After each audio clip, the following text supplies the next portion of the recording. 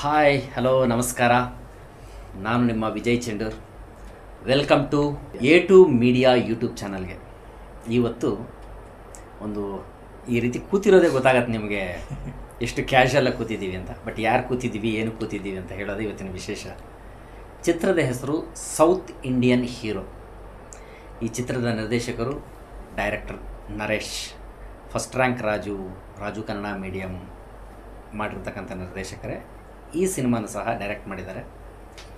ಶಿಲ್ಪಾ ಅವರು, ಈ ಚಿತ್ರದ ಪ್ರೊಡ್ಯೂಸರ್ ನರೇಶ್ ಅವರ ವೈಫ್ ಇದು ಹೋಮ್ ಪ್ರೊಡಕ್ಷನ್ ತುಂಬ ಚೆನ್ನಾಗಿ ಬಂದಿದೆ ಸಿನಿಮಾ. ಸಿನಿಮಾ ಬಗ್ಗೆ ಒಂದಷ್ಟು ತರಳೆ ಮಾತಾಡೋಣ. ಜೊತೆಗೆ ಈ ಸಿನಿಮಾ ಬಗ್ಗೆ ಒಂದಷ್ಟು ಒಳ್ಳೆ ಇನ್ಫಾರ್ಮೇಷನ್ನು ಕೊಡೋಣ ಅನ್ನೋ ನಿಟ್ಟಿನಲ್ಲಿ ಇವತ್ತು ನಾವೆಲ್ಲ ಸೇರಿದ್ದೀವಿ. ಈ ಚಿತ್ರದಲ್ಲಿ ಧಮಾಕ ಏನು ಗೊತ್ತಾ? ಈ ಚಿತ್ರದ ನಾಯಕ ನಮ್ಮ ಸಾರ್ಥಕ್. ಸಾರ್ಥಕ್ನ ಟೆಲಿವಿಷನ್ನಲ್ಲಿ ತುಂಬ ನೋಡಿರ್ತೀರ. ನಾಟ್ ಓನ್ಲಿ ಇನ್ ಕರ್ನಾಟಕ ತಮಿಳ್ನಾಡಲ್ಲೂ ಅಷ್ಟೇ ಆಂಧ್ರದಲ್ಲೂ ಅಷ್ಟೇ ಈಸ್ ವೆರಿ ಫೇಮಸ್ ಸಾರ್ಥಕ್. ನಮಸ್ಕಾರ ಎಲ್ಲ ವೀಕ್ಷಕರಿಗೂ ಹೌದು ವಿಜಯನ ಹೇಳ್ದಂಗೆ ಇದಕ್ಕೂ ಮುಂಚೆ ನನ್ನನ್ನು ನೀವು ಅವನು ಮತ್ತು ಶ್ರಾವಣಿ ಅನ್ನೋ ಧಾರಾವಾಹಿ ಮೂಲಕ ಪರಿಚಿತನಾಗಿದ್ದ ತುಂಬಾ ಪ್ರೀತಿ ಕೊಟ್ಟಿದ್ರಿ. ಈಗ ಬೆಳ್ಳಿ ತೆರೆಗೆ ನನ್ನ ಒಂದು ಪಾದಾರ್ಪಣೆ ಮಾಡ್ತಾ ಇದ್ದೀನಿ. ಅದು ಸೌತ್ ಇಂಡಿಯನ್ ಹೀರೋ ಸಿನಿಮಾದ ಮೂಲಕ. ಇದರ ಈ ಸಿನಿಮಾದ ನಿರ್ದೇಶಕರು ನಮ್ಮ ನರೇಶ್ ಸರ್ ಅವರು. ಅವಳಿಯವ್ರ ಜೊತೆ ನೀವು ಮಾತಾಡಿದಿರ ನಮ್ಮ ಸಿನಿಮಾ ಬಗ್ಗೆ. ಈಗ ನಮ್ಮ ಸಿನಿಮಾದ ಬಗ್ಗೆ ನಾನು ಹಾಗೂ ನಮ್ಮ ಸಿನಿಮಾದ ಹೀರೋಯಿನ್ಸ್ ಇಬ್ಬರು ಕೂಡ ಇದ್ದಾರೆ ಅವ್ರನ್ನೂ ಕೂಡ ಒಂದು ಇಂಟ್ರೊಡಕ್ಷನ್ ಮಾಡಿಸೋಣ. ನಾನು ಹೇಳಿದೆ ಈ ಸಿನಿಮಾದಲ್ಲಿ ಡಬಲ್ ಧಮಾಕ. ಏನು ಡಬಲ್ ಧಮಾಕ ಅಂದರೆ ಎಮೋಷನ್ಸು ಅಷ್ಟೇ ರೊಮ್ಯಾನ್ಸ್ ಇದೆ ಆ್ಯಕ್ಷನ್ ಇದೆ. ಹಂಗೆ ಹೆಂಗೆ ಡಬಲ್ ಡಬಲ್ ಧಮಾಕಗಳು ತೊಗೊತಿರೋ. ಹಾಗೆ ಈ ಸಿನಿಮಾಗೆ ಇಬ್ಬರು ಹೀರೋಯಿನ್ಗಳು ಸಾರ್ಥಕ್. ಮೊದಲನೇ ಸಿನಿಮಾಗೆ ಇಬ್ಬರು ಹೀರೋಯಿನ್ಗಳು. ಬಹಳ ಖುಷಿಯಾದ ಸಂಗತಿ. ಕಾಶಿಮಾ. ನಮಸ್ಕಾರ. ಊರ್ವಶಿ. ನಮಸ್ತೆ. ವೆರಿ ಗುಡ್ ಊರ್ವಶಿ ಕನ್ನಡದವರು ಅಲ್ಲ ಬಟ್ ಕನ್ನಡವನ್ನು ಪ್ರೀತಿಸುವಂಥ ಹುಡುಗಿ. ಕಾಶಿಮಾ ಪಕ್ಕಾ ಕನ್ನಡದ ಬೇಡಗಿ. ಕಾಶಿಮಾ ಈ ಚಿತ್ರದ ಬಗ್ಗೆ ಅಥವಾ ನಿಮ್ಮ ಪಾತ್ರದ ಬಗ್ಗೆ ಏನಾದರೂ ಒಂದೆರಡು ಲೈನ್ ಹೇಳಿ. ಆಮೇಲೆ ನಾನು ಕ್ವಶನ್ ಮಾಡ್ತೀನಿ. ಹೌದಾ? ಈ ಚಿತ್ರದಲ್ಲಿ ನನ್ನ ಪಾತ್ರ ಹೆಸರು ಬಂದು ಮಾನಸಿ ಅಂತ.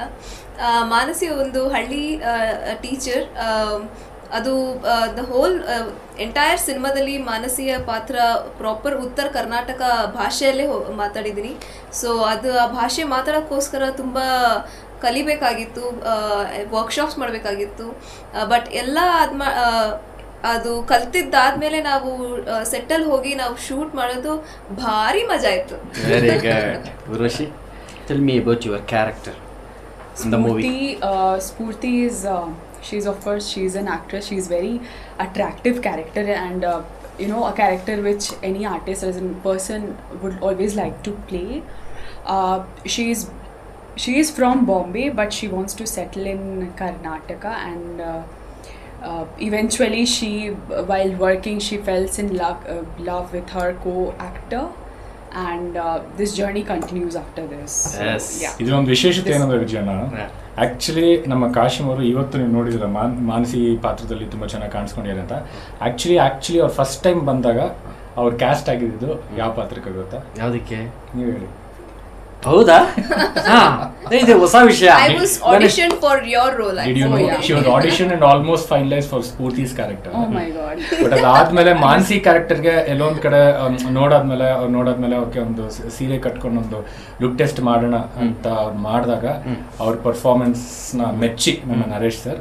ಇಲ್ಲ ಮಾನಸಿ ಪಾತ್ರಕ್ಕೆ ಒಂದು ಸೂಕ್ತ ಸ್ಫೂರ್ತಿ ಕ್ಯಾರೆಕ್ಟರ್ಗೆ ನಮ್ಮ ಉರುಷಿ ಅವ್ರು ಸೂಕ್ತ ಅಂತ ಹೌದೌದು.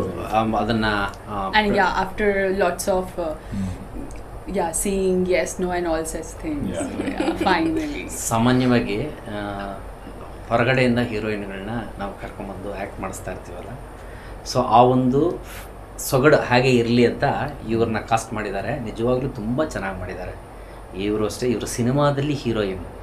ಸಿನಿಮಾದಲ್ಲಿ ಇರೋ ಸಿನಿಮಾ ಇದೆಯಲ್ಲ ಅದರ ಹೀರೋಯಿನ್ನು ಆದರೆ ಯಾರಿಗೆ ಹೀರೋಯಿನ್ನು ಸಾರ್ಥಕ್ಗೆ ಹೀರೋಯಿನ್. ಇವರು ಅಷ್ಟೇ. ಸಿನಿಮಾದಲ್ಲಿ ಹೀರೋಯಿನ್. ಆದರೆ ಯಾರಿಗೆ ಹೀರೋಯಿನು? ಇವರಿಗೆ ಹೀರೋಯಿನ್. ಬಟ್ ಹೆಂಗೆ ಶೇಡ್ಸ್ ಇದೆ ಅನ್ನೋದು ಈಗ ನಾವು ಮಾತಾಡ್ತಾ ಹೋಗೋಣ. ಈಗ ಸರ್ ಸಾರ್ಥಕ್ ಅವರು ನಿಜವಾಗ್ಲೂ ಎಲ್ಲರೂ ಅಷ್ಟೇ ಮೊದಲನೇ ಸಿನಿಮಾ ನಾನು ಈ ಥರದ ಒಂದು ಪಾತ್ರ ಮಾಡಬೇಕು ಅಂತ ಸಾಮಾನ್ಯವಾಗಿ ಒಂದು ಡ್ರೀಮ್ ಇರುತ್ತೆ. ನಮಗೆ ನಮಗೆ ಮನಸ್ಸಲ್ಲಿ ನಾವು ಹೀರೋ ಮೆಟೀರಿಯಲ್ ಅಂತ ಅನ್ಸೋದು ಉಂಟು. ಅನ್ಸತ್ತೆ ಎಲ್ಲರಿಗೆ. ನಾನೊಂದು ಸಿನಿಮಾನ ಲೀಡ್ ಮಾಡಬಲ್ಲೆ ಅಂತ. ಹಾಗೆ ನಿಮ್ದೇನು ಡ್ರೀಮ್ ಇತ್ತಾ? ಖಂಡಿತವಾಗ್ಲೂ ಇತ್ತು ವಿಜಯಣ್ಣ. ಐ ಥಿಂಕ್ ಎಲ್ಲ ನಟರು ಅಟ್ಲೀಸ್ಟ್ ನನಗಂತೂ ಗುರಿ ಅದೇ ಇದ್ದಿದ್ದು. ನನಗೆ ಧಾರಾವಾಹಿ ಮಾಡ್ತಿರ್ಬೇಕಾದ್ರೆ ಅಲ್ಲೂ ನಾನೊಬ್ಬ ನಾಯಕ ನಟನಾಗೆ ನನ್ನ ಎಲ್ಲ ಧಾರಾವಾಹಿಗಳಲ್ಲಿ ನಾನು ಕಾಣಿಸ್ಕೊಂಡಿದ್ದು. ಬಟ್ ಅದು ಆ ಪಾತ್ರಗಳಲ್ಲಿ ನಾನು ಕಾಣಿಸ್ಕೊಂಡಾಗ ಮತ್ತು ಆ ಪ್ರೀತಿ ಸಿಕ್ಕಿದಾಗ ಎಲ್ಲೋ ಒಂದು ಕಡೆ ನನಗೆ ಎಲ್ಲೋ ಒಂದು ಕಡೆ ಒಂದು ಚಿಕ್ಕ ಒಂದು ವಾಯ್ಡ್ ಹಂಗೆ ಇತ್ತು ನನ್ನ ಒಂದು ಹೃದಯದಲ್ಲಿ. ಇಲ್ಲ, ನನ್ನ ಗುರಿ ಇಷ್ಟಕ್ಕೆ ಸೀಮಿತ ಆಗಬಾರ್ದು. ಒಂದು ಬೆಳ್ಳಿ ತೆರೆಯಲ್ಲಿ ಒಂದೇನೋ ಪ್ರಯತ್ನ ಪಡಬೇಕು. ಅಲ್ಲಿ ಒಬ್ಬ ಒಬ್ಬ ಹೀರೋ ಕಾಣಿಸ್ಕೋಬೇಕು, ಮತ್ತು ಜನರ ಪ್ರೀತಿನ ಗಳಿಸ್ಕೋ, ಗಳಿಸ್ಕೋಬೇಕು ಅಂತ. ಸೊ ಹೊಸಬ್ರಾಗಿ ಎಸ್ಪೆಷಲಿ ಎಲ್ಲೊಂದು ಕಡೆ ಫಿಲ್ಮಿ ನಂಟಿಲ್ದೆ ಎಲ್ಲೂ ಬ್ಯಾಕ್ಗ್ರೌಂಡ್ ಇಲ್ಲದೆ ಒಂದು ಗಾಡ್ ಫಾದರ್ ಇಲ್ಲದೆ ಅವಕಾಶಗಳು ಕಟ್ಟಿಸ್ಕೊಳ್ಳೋದು ಸ್ವಲ್ಪ ಕಷ್ಟ. ಹೌದು.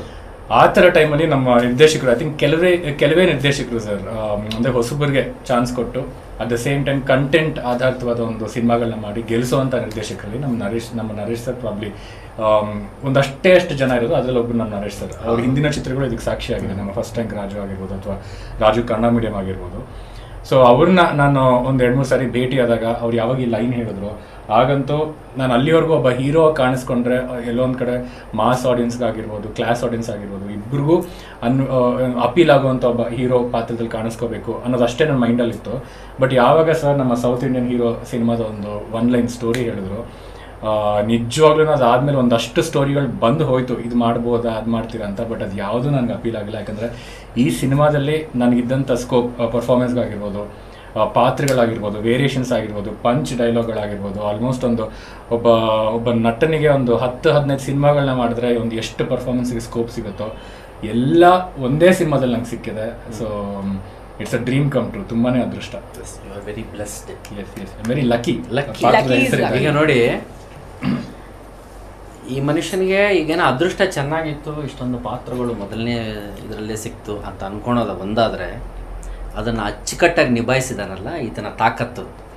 Is very very talented so ಅದಕ್ಕೆ ನಾವು ಅದಕ್ಕೆ ತುಂಬಾ ನಾವು ಬೆಲೆ ಕಟ್ತೀವಿ. ಹಾರ್ಡ್ ವರ್ಕ್ ಅಂದ್ರೆ ಯೂಶಲಿ ಎವ್ರಿಬಡಿ ಹಾರ್ಡ್ ವರ್ಕ್ ಮಾಡ್ತಾರೆ. ಇವರಷ್ಟು ಹಾರ್ಡ್ ವರ್ಕ್ ಮಾಡಿರೋದು ನಿಜವಾಗ್ಲೂ ನಾನು ನೋಡಿ dedicated like you know he has has this we thing. Uh Uh, we had a shot in Kashmir, and who the one use not used to it. The shiveringly, you know, he has been shivering like anything, and I'm still used to that. And by seeing him, is like, but ಇಲ್ಲ. ವಿಷಯಕ್ಕೆ ಬಂದ್ರೆ I think casting which ವಿಚಾರದಲ್ಲಿ ಮತ್ತೆ hard work ಎಲ್ಲರೂ ಶ್ರಮ ಹಾಕಿರೋದ್ರಲ್ಲಿ ನಮ್ಮ cinema ಅಂತ I think because. ಪ್ರತಿಯೊಂದು ಪಾತ್ರಕ್ಕೂ. ಪ್ರತಿಯೊಂದು ಹೌದು ಸರ್ ನಿಮ್ಮ ಬೆಂಕಿ ಬಿಲ್ಪತ್ರೆ ಪಾತ್ರ ಆಗಿರ್ಬೋದು ಇವ್ರ ಮಾನಸಿ ಪಾತ್ರ ಆಗಿರ್ಬೋದು ಅವ್ರ ಸ್ಫೂರ್ತಿ ಪಾತ್ರ ಆಗಿರ್ಬೋದು ಮ- ನಮ್ಮ ಒಂಟಿ ಸೀನಾ ಹಾಗೂ ಬಂಟಿ ಪಾತ್ರಗಳಾಗಿರ್ಬೋದು ಅಂಡ್ ಮೋರ್ ಓವರ್ ನಮ್ಮ ನಾವು ನಾವು ಪಾತ್ರದಲ್ಲಿ ನಾವು ನಾವು ಕ್ಯಾರೆಕ್ಟರ್ಸ್ ಮಾಡಿದ್ರು ನಮ್ಮ ಟೆಕ್ನಿಷಿಯನ್ಸ್ ಇದಾರಲ್ಲ ಅವ್ರು ಒಬ್ರು ಕೆಲಸ ಒಬ್ ನಾನು ಅದೇ ಕೆಲಸ ಮಾಡ್ತೀನಿ ಅಂತಲ್ಲ. ಒಬ್ಬ ಒಬ್ಬೊಬ್ರು ಕೆಲಸ ಒಂದ್ ನಾಲ್ಕು ನಾಲ್ಕು ಜನ ಕೆಲಸ ಒಬ್ಬೊಬ್ರು ಮಾಡಿದ್ದಾರೆ ನಮ್ಮ ಸಿನಿಮಾ ತಂಡದಲ್ಲಿ. I think we have to appreciate our technicians also ಪ್ರತಿಯೊಬ್ರು ನಮ್ಮ ಡಿಪಾರ್ಟ್ಮೆಂಟ್ ನಮ್ಮ ಡಿಪಾರ್ಟ್ಮೆಂಟ್ ಇದೆ ಅಂತ ಅಷ್ಟೇ ಅಷ್ಟಕ್ಕೆ ಒಂದು ಬೌಂಡ್ರಿ ಹಾಕೊಳ್ದಿರಾ? ಎಲ್ಲಾ ಕೆಲಸವನ್ನು ಎಲ್ಲರೂ ಮಾಡ್ತಾ ಮಜ್ಜುವಾಗಿ ಮಾಡ್ತಾ ಯಾರು ಒಂದು ಕಷ್ಟಪಟ್ಟು ಮಾಡ್ದಿರಾ ಎಷ್ಟೇ ಕಷ್ಟ ಇದ್ರೂ ಅದನ್ನ ಇಷ್ಟಪಟ್ಟು ಮಾಡ್- ಮಾಡಿ ಇವತ್ತೊಂದು ಪ್ರಾಡಕ್ಟ್ ರೆಡಿ ಆಗಿರೋದಕ್ಕೆ ಅದ್ರ ಇದ್ರ ಬಗ್ಗೆ ಒಂದಷ್ಟು ಒಂದು ಒಳ್ಳೆ ಪ್ರಶಂಸೆ ನಮ್ಗೆ ಆಲ್ರೆಡಿ ಸಿಗ್ತಿರೋದಕ್ಕೆ ಐ ಥಿಂಕ್ ಆ ಒಂದು team work right from the day one ಅದನ್ನ ಎಲ್ಲರ ಮೈಂಡಲ್ಲಿ ಇತ್ತು ನಾವು ಇದು ಗೆಲ್ಲ ಈ ಸಿನಿಮಾ ನಾವು ಗೆಲ್ಲಿಸಬೇಕು ಅನ್ನೋ ಅದರಲ್ಲೇ ಎಲ್ಲರೂ ಅಷ್ಟು ಕಷ್ಟಪಟ್ಟಿದ್ದಾರೆ. ಇಲ್ಲ ಅದರ ಆಲ್ರೆಡಿ ಕಾಣ್ತಿದೆ ಟ್ರೈಲರ್ ರಿಲೀಸ್ ಆಗಿದೆ. ನೀನು ಕಮ್ಮಿನೇನಮ್ಮ ಟ್ರೈಲರು ನೋಡಿ ನೀವು ಸೌತ್ ಇಂಡಿಯನ್ ಹೀರೋ ಚಿತ್ರದ ಟ್ರೈಲರ್ ನೋಡಿ. ಕಾಶಿಮ ಹೇಗೆ ಕಾಣ್ತಾರೆ? ಕಾಶಿಮ ಪರ್ಫಾರ್ಮೆನ್ಸ್ ಏನು ಅಂತ ನೀವು ಒಂದೂವರೆ ಎರಡು ನಿಮಿಷ ಟ್ರೈಲರಲ್ಲೇ ಹೇಳ್ಬಿಡ್ತೀರ? ಅಲ್ಲಮ್ಮ ಹೆಂಗಮ್ಮ? ಆ್ಯಕ್ಚುಲಿ ಫಿಲಿಮ್ ಫುಲ್ ಸ್ಯಾರೀಸೇನಾ ಹಾ ಸರ್ ಈ ಸಿನಿಮಾದಲ್ಲಂತೂ ಕಂಪ್ಲೀಟ್ಲಿ ನಾನೊಂದು ಹಳ್ಳಿ ಟೀಚರ್ ಅದೊಂದೇ ಕ್ಯಾರೆಕ್ಟರ್ ನನಗೆ ಮಾತ್ರ ಇರೋದು. ಹೌದಾ? ಇವಾಗ ನೀವು ಹಳ್ಳಿ ಟೀಚರ್ ನೀವು ಹೇಗೆ ನೀವೇನು ಟೀಚರ್ ಆಗಿದ್ದೀರಾ ಮುಂಚೆ? ಇಲ್ಲ ಆಕ್ಚುಲಿ ನಾನು ಡಾಕ್ಟರ್ ಆಗ್ಬೇಕು ಅನ್ಕೊಂಡಿದ್ದೆ. ನಾ ಅಂದ್ರೆ ಎಲ್ಲರೂ ನಗಿದಾರೆ ಅಯ್ಯೋ ಡಾಕ್ಟರ್ ಆಗ್ಬೇಕು ಅಂತಂದ್ರೆ ಆಕ್ಟರ್ ಆಗಿದ್ರೆ ತಪ್ಪೇನಿಲ್ಲ. ಡಾಕ್ಟರ್ ಆಗ್ಬೇಕು ಅನ್ಕೊಂಡೆ ಆಕ್ಟರ್ ಆಗ್ಬೇಕು ಈಗ ಆಕ್ಟರ್ ಆದ್ಮೇಲೆ ಡಾಕ್ಟರ್ ಆಗ್ಬೇಕು ಲಾಯರ್ ಆಗ್ಬೇಕು. ಹೌದು. ಅದು ಇನ್ನೂ ದೊಡ್ಡದು. ಅಲ್ವಾ? ಅಲ್ವಾ? ಸೊ ಒಳ್ಳೆ ಕೆಲಸನೇ ಮಾಡಿದೆ ವಾಸ್ತವ ಏನಂದ್ರೆ ಅವ್ರು ಡಾಕ್ಟರ್ ಆಗ್ಬೇಕು ಅಂತ ಅನ್ಕೊಂಡಿದ್ರು ಪ್ರೊಫೆಷನಲಿ ಬಟ್ ರಿಯಲ್ ಲೈಫ್ ಅಲ್ಲಿ ತುಂಬಾ ಸಲ ಪೇಷಂಟ್ ಆಗ್ತಾರೆ. ಅದಕ್ಕೆ ಸ್ವಲ್ಪ ಇದೆ ಅವರು ತುಂಬಾ ಸೆನ್ಸಿಟಿವ್ ಪಾಪ. ಬಟ್ ಆ ಸೆನ್ಸಿಟಿವ್ ಆಗಿದ್ರು ತುಂಬಾ ಅವರ ಒಂದು ಬೌಂಡ್ರೀಸ್ ಏನಿದೆ ತುಂಬಾ ಅಥವಾ ಒಂದು ಟಾಲರೆನ್ಸ್ ಏನಿದೆ ಬಾಡಿ ಟಾಲರೆನ್ಸ್ ತುಂಬಾನೇ ಸ್ಟ್ರೆಚ್ ಮಾಡ್ತಾರೆ. ಅದವ್ರ ಹಂಪಿಯಲ್ಲೂ ತೋರಿಸಿದ್ದಾರೆ ಕಾಶ್ಮೀರದಾಗ ಅಲ್ಲೂ ತೋರಿಸಿದ್ರು. ಬಟ್ ಹಾರ್ಡ್ ವರ್ಕ್ ಅವರು ಹಾಕಿಯಾರೆ ಬಟ್ ಎಲ್ಲೊಂದ್ ಒಂದ್ ಕಡೆ ಎಸ್ ಅವ್ರು ಸೆನ್ಸಿಟಿವ್ ಆಗಿದ್ದಾರೆ. ತುಂಬಾ ಸ್ವಲ್ಪ ಏನೋ ಹಂಗಿಂಗ್ ಆದ್ರೆ ಸ್ವಲ್ಪ ಹೆಚ್ಚು ಕಡಿಮೆ ಆದ್ರೆ ಫುಡ್ ಅಲ್ಲಿ ಇರ್ಬೋದು ಟೆಂಪ್ರೇಚರ್ ವೆದರ್ ಅಲ್ಲಿ ಇರ್ಬೋದು ಪೇಷಂಟ್ ಆಗೋದಂತೂ ಸ್ವಲ್ಪ ಅಲ್ಲ ಯಾಕಂದ್ರೆ ಸಾಮಾನ್ಯವಾಗಿ ಕಾಶಿಮನ ಇಡೀ ಫಿಲ್ಮ್ ನೋಡುವಾಗ ನಿಮಗೆ ಒಂದು ಫೀಲ್ ಅಂತೂ ಆಗುತ್ತೆ. ಯಾರು ಪಕ್ಕದ ಮನೆ ಹುಡುಗಿನ, ಎದುರು ಮನೆ ಹುಡುಗಿನ ನನ್ನ ಹುಡುಗಿನ, ಇಲ್ಲ ಅವ್ರ ಹುಡುಗಿನ ಅಂತೆಲ್ಲನೂ ಅನಿಸತ್ತೆ. ಯಾಕಂದರೆ ಅಷ್ಟು ಲಕ್ಷಣವಾಗಿ ಕಾಣಿಸೋದ್ರ ಜೊತೆಗೆ ಆ ಕ್ಯಾರೆಕ್ಟರ್ನ ಸಹ ಹಾಗೆ ಪ್ಲೇ ಮಾಡಿದ್ದಾರೆ. ಸೂಕ್ಷ್ಮತೆಗಳು. ರೊಮ್ಯಾಂಟಿಕ್ ಸೀಕ್ವೆನ್ಸ್ ಆಗ್ಬೋದು ಸೀರಿಯಸ್ ಸೀಕ್ವೆನ್ಸ್ ಆಗಿರ್ಬೋದು. ಆ ಸೂಕ್ಷ್ಮತೆಗಳನ್ನ ಹಿಡಿದಿದ್ದಾರೆ ಅದು ಅಷ್ಟು ಈಸಿಯಾಗಿ ಬರಲ್ಲಮ್ಮ. ಮೊದಲನೇ ಸಿನಿಮಾ ಅಂತೀರಾ ಬಟ್ ನಿಮ್ಮ ಏನಂತಾರೆ ಎಕ್ಸ್ಪೀರಿಯನ್ಸ್ನ ಫೀಲ್ ಮಾಡಿ ಮಾಡಿರೋದು. ಎಕ್ಸ್ಪೀರಿಯನ್ಸ್ನ ಅನುಭವಿಸಿ. ಅಂದರೆ ಯಾವುದೋ ಒಂದೆರಡು ಸಿನಿಮಾ ಮಾಡಿ ಬಂದಿರೋದಲ್ಲ ಒಂದು ಕ್ಯಾರೆಕ್ಟರ್ಗೆ ಒಂದು ಕಾಮನ್ ಸೆನ್ಸ್ ಇರುತ್ತಲ್ಲ ಅದನ್ನ ಇಟ್ಕೊಂಡು ನೀಟಾಗಿ ಮಾಡಿರ್ತಕ್ಕಂಥ ಪಾತ್ರ ಇದು. ಇನ್ನೊಂದು ಈ ಉತ್ತರ ಕರ್ನಾಟಕದ ಭಾಷೆ ಅನ್ನೋದು ನಿಮ್ಗೆ ಗೊತ್ತಿರೋ ಹಾಗೆ ಸರ್ ನಮ್ಮ ಬೆಂಗಳೂರಿಗೆ ಹುಟ್ಟಿ ಬೆಳೆದಂತ ನಮಗೆ ತುಂಬ ಸ್ವಲ್ಪ ಅದಷ್ಟು ಈಸಿಯಾಗಿ ಬರೋದಿಲ್ಲ ಅವ್ರಿಗೆ ಇನ್ನೂ ಬರ್ತಿರ್ಲಿಲ್ಲ. ನನ್ಗೆ ಅಟ್ಲೀಸ್ಟ್ ಎಲ್ಲೊಂದು ಕಡೆ ಪರಿಚಯ ಇತ್ತು ಧಾರಾವಾಹಿ ಮಾಡ್ತಿರ್ಬೇಕಾದ್ರೆ ನನ್ನ ಒಂದು ಬಳಗದಲ್ಲಿ ಬಟ್ ಅವ್ರಿಗೆ ಅಟ್ಲೀಸ್ಟ್ ಆ ಒಂದು ಏನೋ ಒಂದು ಇಂಟ್ರಡಕ್ಷನ್ ಇರಲಿಲ್ಲ ಅನ್ಸುತ್ತೆ. ಬಟ್ ಆ ಭಾಷೆನ ಅವರು ಲೈಕ್ ಏನೋ ತಮ್ಮದಾಗಿಸ್ಕೊಂಡಿರೋದು. ಲೈಕ್ ಏನೋ she has totally owned it ಅಂತ ಅಂತೀವಲ್ಲ? ಅದು ನಿಜವಾಗ್ಲೂ. ಯಾ ವರ್ಕ್ಶಾಪ್ಗಳಲ್ಲಿ ರಿಹರ್ಸಲ್ಗಳಲ್ಲಿ ಆ ಭಾಷೆಯನ್ನ ಶೈಲಿಯನ್ನ ನೇಟಿವಿಟಿನ ಆ ಒಂದು ದೀರ್ಘಗಳನ್ನ ಅದೇನಿದೆ ಅದೇ ನುವಾನ್ಸಸ್ನ ಪ್ರತಿಯೊಂದು ವರ್ಕೌಟ್ ಮಾಡಿ. ಶ್ರದ್ಧೆ. ಖಂಡಿತ. ಇವತ್ತು ಇಲ್ಲ, ಶ್ರದ್ಧೆನೂ ಹಾಗೆ ಇದೆ ಇನ್ವಾಲ್ವ್ಮೆಂಟು ಹಾಗೆ ಇದೆ. ಬರೀ ಅವ್ರಿಗೆ ಮಾತ್ರ ಅಲ್ಲ, ಊರ್ವಶಿ. ಊರ್ವಶಿ ಬಗ್ಗೆ ನಾನು ಹೇಳಬೇಕು ಏನು ಅಂತಂದರೆ, ಯಾಕೆ ಅಂದರೆ, ಊರ್ವಶಿ ಕಾಂಬಿನೇಷನ್ ನನ್ನ ಸೀನ್ಸ್ ಇದೆ ತುಂಬ. ಸೊ ಆದ್ದರಿಂದ ನನಗೆ ಗೊತ್ತು ಊರ್ವಶಿ ಇನ್ವಾಲ್ವ್ಮೆಂಟ್ ಹೇಗಿದೆ. ಭಾಷೆಯನ್ನು ಕಲಿತು ಕಾನ್ಷಿಯಸ್ ಆಗಿ ಆ್ಯಕ್ಟ್ ಮಾಡಬೇಕು. ಬಟ್ ಯಾರೋ ಪ್ರಾಂಪ್ಟ್ ಮಾಡಿಬಿಟ್ಟು ನಾವು ಡೈಲಾಗ್ ಹೇಳ್ತೀವಿ ಅನ್ನೋ ಲೆಕ್ಕದಲ್ಲಿ ಇರಲಿಲ್ಲ ಅವರು. ಅವರೇ ಲ್ಯಾಂಗ್ವೇಜ್ನ ಕಲಿತು ಮಾಡ್ತಿದ್ರು. ಊರ್ವಶಿ, ನಾನೇನು ಹೇಳಿದೆ ಅರ್ಥ ಆಯ್ತಾ? Do you understand what I say no actually Little bit. मैं आपको प्राइज किया पता है. थैंक यू Thank अब you. बोलना Actually, I, done a- that's why I said I didn't understand. I just wanted him to You've repeat. done an excellent work, even I though- just wanted to take the praise more. so even though you didn't know the language Yeah. you, you're not expecting uh, This you know, much. people Prompting to prompt us. you uh, you took the language you tried to kind of Yes. get the lines memorize the Yes. lines Yes. understand the meaning of it and then you reproduce it so how was the And experience one more It thing, she was, looks uh, very pretty on Yes. screen. Thank you. ಅಲ್ಲ ಅದು ಅವ್ರ Off ಹೆಸರಲ್ಲಿ screen also and on screen is very like No. very much pretty. ಅಲ್ಲ ಅದು ಅವ್ರ ಹೆಸರಲ್ಲಿ ಇದೆಯಲ್ಲ ರಂಬೆ ಉರುಷಿ ಮೇನಕ ಅಂದ ತಕ್ಷಣ ಏನು ವಿಜಯನ ನಮ್ಮ hero, ನಮ್ಮ ರಂಬೆ hero ಉರುಷಿ ಒಂದು ಮೇನಕಾದಲ್ಲಿ ಇದು ಹಂಗೆ ಹಿಂಗೆ ಡೈವರ್ಟ್ ಮಾಡ್ಬೇಡ Straight ಮಾಡ್ತಿರೋದು. ಇಲ್ಲ tell me your experience actually do you have any iPhone ಮಗ.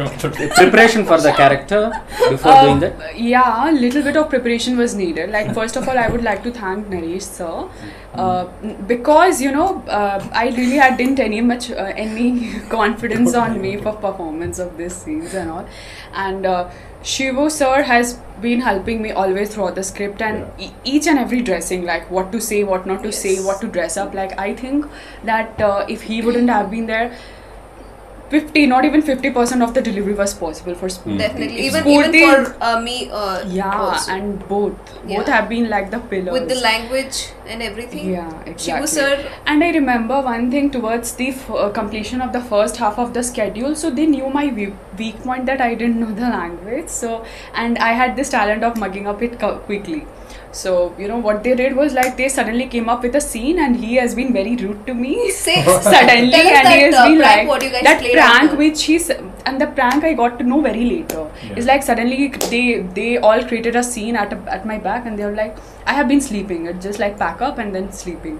So suddenly uh, shivu sir comes and then he comes up like you have to mug this up. And suddenly he's like four five lines he speaks so fast. And he's like you are a professional. You cannot do. If you can't do just leave. ಅದೊಂದು prank ಮಾಡಿದ್ವಿ ಒಂದು ದಿವಸ almost shooting pack And I ಅವ್ರನ್ನ ಅಳಿಸ್ಲೇಬೇಕು ಅಂತ ಎಲ್ಲ ಇಡೀ ತಂಡ decide ಮಾಡಿ ಒಂದಿಷ್ಟು ಒಂದು ಒಂದೆರಡು ಪೇಜ್ ಇರೋ ಡೈಲಾಗ್ ಕೈ ಕೊಟ್ಬಿಟ್ಟು. ಪ್ಯಾಕಪ್ ಆಗ್ತಿದೆ ಲೈಟ್ ಹೊಟ್ಟೋಗ್ಬಿಡುತ್ತೆ ಇವಾಗ ಐದು ನಿಮಿಷದಲ್ಲಿ ರೆಡಿ ಆಗ್ಬೇಕು ನೀವು. ರೆಡಿಯಾಗಿ ರೆಡಿಯಾಗಿ ನಾನೆಲ್ಲ ರೆಡಿ ಪ್ರೊಫೆಷನಲ್ ಆಗಿರಿ ಇವರು ಋಷಿ ಪ್ಲೀಸ್ ಟೈಮ್ ಆಗ್ತಿದೆ ಟೆಕ್ನಿಷಿಯನ್ ಎಲ್ಲ ವೈಟ್ ಮಾಡ್ತಿದ್ದಾರೆ ಐದು ನಿಮಿಷದಲ್ಲಿ ಆಗಿದೆ Please. ನೋಡಿ ಹೆದರ್ಸ್ಬಿಟ್ವಿ. And his ಪರ್ಸನ್ ಸಪೋಸ್ ಹೇಳ್ಬಿಟ್ಟಿದ್ರೆ ನೀವು cried I wouldn't cried they have that it was prank yeah they wait in the they wait tears out ಅವನು ಪ್ರ್ಯಾಂಕ್ ಮಾಡಿದ್ರು but I did cry I the same thing 3 4 times your language is no language like about like actually Naresh ಅವರ ಬುದ್ಧಿವಂತಿಕೆ ಗೊತ್ತಾಗ್ತಾ ಇದೆ ಅಲ್ಲ? ಹೇಗೆ ಆರ್ಟಿಸ್ಟ್ನ pamper ಮಾಡಿ comfortable ಆಗಿ ಇಟ್ಟಿರ್ತಾರೆ ಅಂತಂದರೆ ಅವ್ರನ್ನ ತಮಾಷೆ ಮಾಡ್ಕೊಳ್ತಾ ಆಮೇಲೆ ಒಳ್ಳೆ ಫುಡ್ಡು ಒಳ್ಳೆ ವಸತಿ ಇವೆಲ್ಲ ಕೊಟ್ಟು ನೀಟಾಗಿ ಟೈಮ್ ಕೊಟ್ಟು ಅವ್ರ ಹತ್ರ ಟ್ಯಾಲೆಂಟ್ನ ತೆಗಿತಾರೆ. ಆ ಟ್ಯಾಲೆಂಟು ನರೇಶ್ ಅವ್ರಿಗಿದೆ. ಸೊ ಅದಕ್ಕಾಗಿ ನಾವೆಲ್ಲ ಬಚಾವು. ನಾವೆಲ್ಲ ಇವಾಗ ಯಾರಾದರೂ ಕ್ಯಾರೆಕ್ಟರ್ಸ್ ನಾನು ಬೆಂಕಿ ಬಿಲ್ಪತ್ರೆ ಅಂತ ಒಂದು ಕ್ಯಾರೆಕ್ಟರ್ ಸೊ ನೀವು ಹಿಂಗೆ ಮಾಡಿದರೆ ಚೆನ್ನಾಗಿದೆ ಕಾಶಿಮಾ ಊರ್ವಶಿ ಸಾರ್ಥಕ್ ನೀವೆಲ್ಲ ಚೆನ್ನಾಗಿ ಮಾಡಿದ್ದೀರಾ ಅಂತಂದರೆ ಕ್ರೆಡಿಟ್ ಗೋಸ್ ಟು ನರೇಶ್. ಯಾಕಂದ್ರೆ ಅವ್ರಿಗೆ ಹೆಂಗಿರಬೇಕು ಅನ್ನೋದು ಚೆನ್ನಾಗಿ ಮೈಂಡ್ ಆಗಿದೆ ಈಗ ಇಷ್ಟು ಕ್ಯಾರೆಕ್ಟರ್ಸ್ ಇದೆಯಲ್ಲ ಇದು ಒಂದೊಂದು ಕ್ಯಾರೆಕ್ಟರ್ಗೂ ಹೆಂಗೆ ನೀವು ಆ- ಮೂಡ್ಗೆ ಟ್ರಾನ್ಸ್ಫರ್ ಆಗ್ಬೇಕಾದ್ರೆ time ತಗೊಳ್ತಿದ್ರಾ?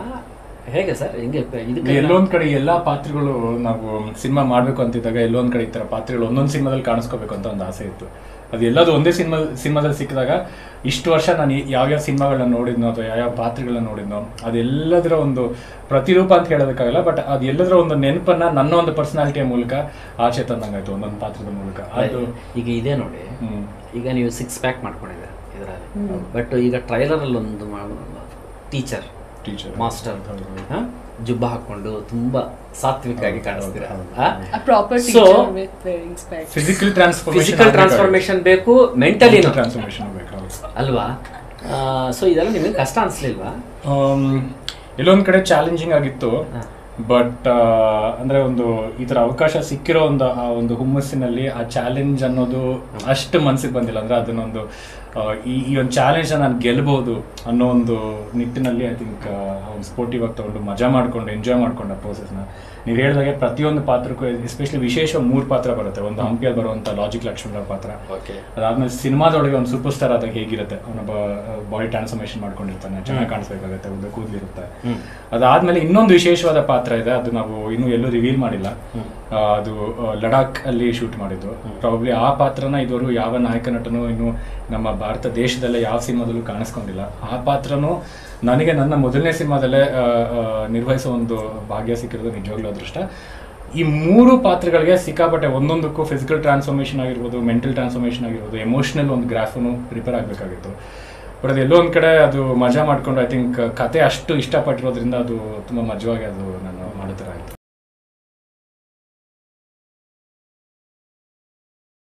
A to ಮೀಡಿಯಾಗೆ all all the best to the entire team of A2 Media. A two media YouTube ಚಾನಲ್ಗೆ ಸಬ್ಸ್ಕ್ರೈಬ್ ಮಾಡಿ. ಹಾಯ್ ಎಲ್ರಿಗೂ ನಮಸ್ಕಾರ. ನಾನು ನಿಮ್ಮ ಪ್ರಜ್ವಲ್ ದೇವರಾಜ್. ಎ ಟು ಮೀಡಿಯಾಗೆ ಸಬ್ಸ್ಕ್ರೈಬ್ ಮಾಡಿ ನನ್ನ ಅಪ್ಡೇಟ್ಸ್ ನೀವಲ್ಲಿ ನೋಡ್ಬೋದು. ನೀವು ಇನ್ನು ನಮ್ಮ ಚಾನಲ್ ಸಬ್ಸ್ಕ್ರೈಬ್ ಮಾಡಿಲ್ಲ ಅಂದರೆ ಈಗಲೇ ಸಬ್ಸ್ಕ್ರೈಬ್ ಮಾಡಿ ಶೇರ್ ಮಾಡಿ ಲೈಕ್ ಮಾಡಿ.